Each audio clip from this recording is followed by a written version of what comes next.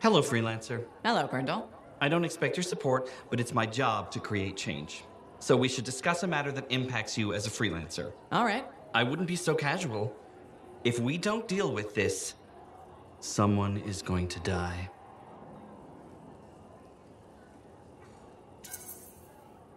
So what are we looking at? The Javelin launch deck has no safety rail.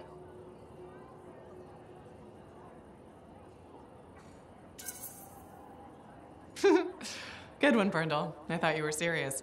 I'm not joking. The deck is extremely dangerous for maintenance workers. Arlik Janky slipped off the edge during his morning cleaning shift. Is he okay?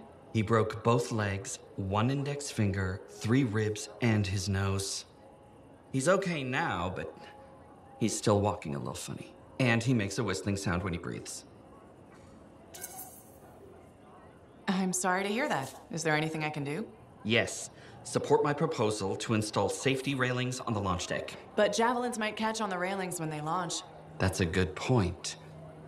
Hmm. I've got it. Tethered safety harnesses.